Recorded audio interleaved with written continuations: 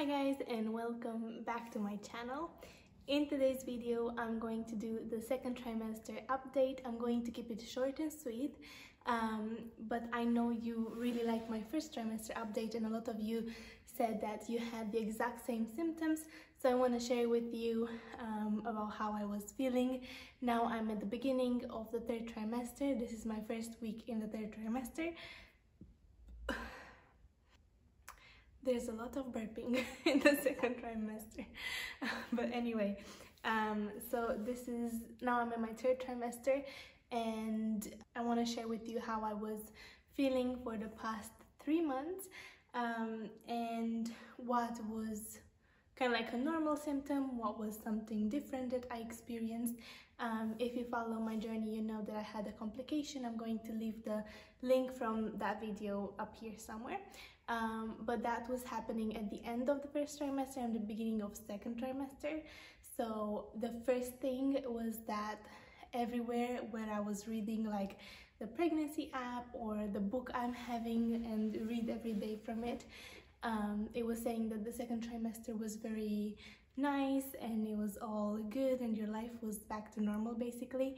But as I was suffering my complication with the subchorionic hematoma everything was not normal. Everything was opposite to the normal and it was very very annoying. And everywhere say that you can now work out you can go for walks you can go on vacation. And i was in bed bleeding. So the first thing i want to mention to you is that it's okay if you're not feeling as the books or the internet tells you. So if you're not as good as you should be it's all good it's okay it's normal and all bodies are different and you need to just adjust at your own pace. So that was the first first thing. Um, I have a list here in my pretty notebook. Um, so I was making notes throughout the second trimester just the same way I did in my first trimester to make sure I remember everything and to give you the real raw updates um, it is true that the second trimester is way better than the first one because I think you get used to all the hormones and you get used to being pregnant and all the changes that happen in your body. Now you are kind of like used to them and you perceive the new feeling as the new normal. So you are more energetic, you are full of life again, you want to start organizing and you're kind of like beginning the nesting mode at least I did. I was starting to just make sure I clean something new every day make sure the space is really clean really organized. Um, and yeah I was just back to my normal schedule. If you follow my first video about the first trimester update you know that I was saying that the the most difficult part for me was that I was not able to keep my schedule and I'm thriving on a schedule but in the second trimester I was able to go back to my routine to my schedule to just be productive and be excited about new projects and new things. So that was a plus on the second in the second trimester. I was starting to sleep good. So um, in the first trimester I was not sleeping good because of the complication I had, my pregnancy insert inserted itself very low and was pushing my bladder like um, other pregnancy would push in the third trimester. So I was up all night peeing and that was horrible. So in my second trimester that changed because uh, the pregnancy went a little bit up, it grew and the placenta moved as well. So it was no longer pushing on my bladder and I was able to sleep throughout the night. Maybe I was still waking up um, once to go pee just because I was drinking a lot of water before bed just to keep hydrated but um, just once during the night so was acceptable I was able to sleep good and enjoy a good night's sleep um, I did have a little bit of insomnia though, so I was trying to fall asleep as usual. So around 10 we are going to bed and then by 11, 11.30 we are already asleep. But I couldn't do that for some reason. My brain was very active, but I think it was also because the baby started to kick and I was feeling those kicks so bad at night. It does say in my book that I'm reading about pregnancy that babies start to kick a lot when you are laying down and when your muscles are relaxed. So maybe that's why, that's a reason because the baby started to kick a lot. I was able to feel it way more intense than before in the first trimester and that kept me up more. But um, just for one hour let's say so I was asleep by midnight and I was still enjoying a good night's sleep. So that's that's pretty acceptable. What else?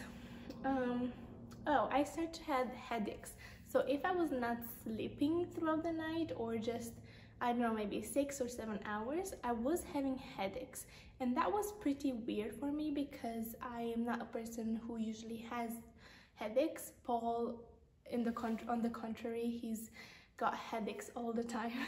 But I am not a person who was used to having headaches. So this was kind of weird for me and was very annoying because I knew it was sometime some kind related to pregnancy and I was trying to push myself to sleep more just not to have these headaches.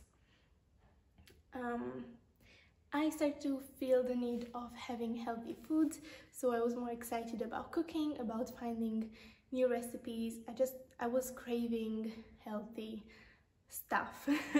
Um, in the first trimester I was not in particular I was not paying attention like to what I was eating I was just eating whatever I could so I would feel good but in the second trimester I started to have this craving for healthy stuff. Working out, that is probably my favorite part. Um, I did work out throughout the second trimester, so after my bleeding and the complications stopped and everything was back to normal, I was able to work out. Um, I did wait for my doctor approval, so after my doctor said it was okay and fine for me to work out, I was finally able to work out again, and that made me feel so good. It made me feel like normal. I really enjoy working out. Um, I obviously avoided all the abs um, exercises, but I did um, work out my legs, arms, back, did a lot of yoga and stretches and that feels really good. For working out I'm using Pamela Reif's channel. Um, I will put in the description down below but she is the best. She has short videos like 10 minutes and I was able to pick and choose what I was doing and she also has dance workouts and I really love those because it was a form of cardio. I was just picking the exercises I could do and I was feeling safe to do but I was still sweating and feeling really good about myself afterwards so I really enjoy working out with Pamela so if you don't know about her please check her out she is amazing. Another thing that happened in the second trimester um, is that I was getting headaches or my eyes got really tired from sitting in front of a screen or laptop, TV, whatever for too long. So I bought uh, blue light glasses and they really helped.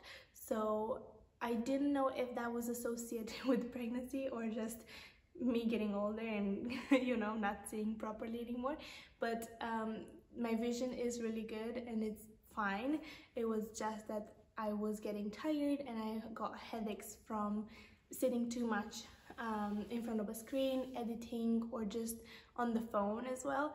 So I got the blue light glasses and they really help with that. So apparently it's another pregnancy symptom. 20 to 25 weeks, my belly started to grow a lot. Um, so it did become a bit uncomfortable, especially during the night, but my pillow comes in really really helpful and um, if you didn't see my must-haves or things that I bought during pregnancy I'm going to link that video up here as well and the pregnancy pillow I have it is amazing for offering me the support I need during the night. And during the second trimester I put on 7.2 kilograms. So um, I was 55 when I started the pregnancy and now I'm around 62 63 kilograms. So it's not a lot but it does feel a bit of more uncomfortable and I need to adjust my outfits a lot another thing that I wrote here is that I hate stairs. so so now we live on the second floor. Um, we live with Paul's parents and we have kind of like the attic for ourselves and that's the second floor so all day we're going up and down the stairs and I really really hate stairs it is so hard for me to breathe right now although I do enjoy working out and being active all day and I'm fine with that but with stairs it's a whole different story. I hate them. Um, oh the baby as I told you started kicking a lot and we also uh, felt the first hiccups I think three days ago. So that would basically be in the third trimester but we did feel the hiccups just now so I'm telling you is so weird. But the baby kicks a lot and it also has um, I can see a pattern in like how the baby behaves. So he's going to start kicking if I lay on one side and it's not comfortable but then if I move on the other side and it's all good and comfortable it will stop kicking and I think it falls asleep especially during the night. But I kind of like feel the baby more and try to understand what the baby likes and what the baby doesn't like um, but that's all I have like I told you today's video is gonna be short and sweet. Um, there's not much going on in the second trimester. Um, it's just life coming back to normal. It will come back to normal at your own pace and depending on your body, but it does feel better. You are able to have more energy to work out, to be active. Um, so that's a really good part. The baby's kind of bit annoying at night because the baby starts kicking uh, and you're able to feel the kicks but other than that it's all good. It's hi nice. it's me editing. And i just realized i forgot two really important symptoms and they are bad symptoms. Um, the third will be that during pregnancy you do forget the bad stuff happening to you because you're so excited and you really want to meet your baby and everything seems really nice. But i forgot these two really bad things that happened First, I started to have um, leg cramps during the night. Oh, and they are painful. Like you would just wake up in the middle of the night in pain, and your muscle would be stiff as a stone, and you could massage it and try everything, but nothing would work until the cramp would naturally go away. And I did some research, asked my doctors as well, and they say it's a little bit of evidence that these cramps happen because of a deficit in your body of magnesium, calcium, or potassium. Uh, but I was taking these supplements uh, for I don't know, a month, two months, and nothing happened. I still had leg cramps during the night. Now they seem to slow down a little bit, not to have them as often, but I still have them, and they are absolutely horrifying, horrible, you name it. Um, but it is a normal thing that happens in pregnancy, especially during the second trimester, and it has something to do with the size of your uterus pushing on nerves stuff around there but if you're experiencing them i'm really sorry for you. And the second thing is at the beginning of the uh, second trimester um, so just as i was uh, moving from the first trimester to second trimester that period of time i started to have really bad um, tailbone pains but they were not constant. So one day I could have really bad tailbone pains and I couldn't walk, um, just, I don't know, stay in one position for too long. And then the next day I wouldn't feel a thing.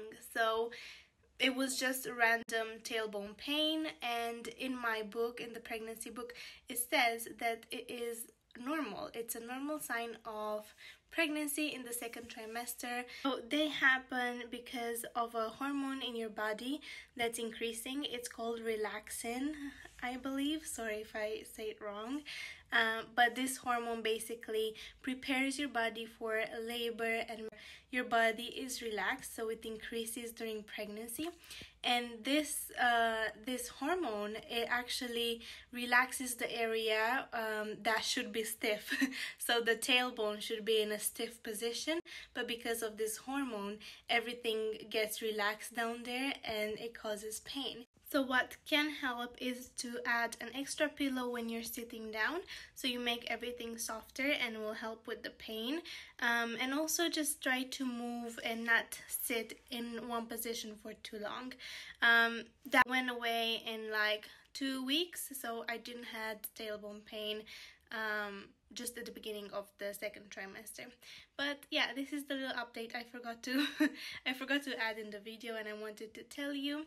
And these are the blue glass uh, blue light glasses that I mentioned in the video that I'm using for editing. So if you're in your first trimester right now and you feel like everything is going wrong and everything is horrible don't worry it will start to get better um, and you will really enjoy the second trimester. I hope the third trimester will be as good as the second one, although I think my me getting bigger and the baby getting little space there, it will be a little bit more uncomfortable. But I'll continue being active and I will continue working out and eating healthy stuff. So hopefully um, it will pass really quickly. Oh yeah that's another thing. It passed so quickly. So when you feel good it doesn't feel like you're pregnant and it just it flies by. You don't really feel the second trimester. But yeah i hope you enjoyed today's little update. And if you're pregnant i hope you're feeling good and you have a nice easy pregnancy. And i cannot wait to see you next time. Bye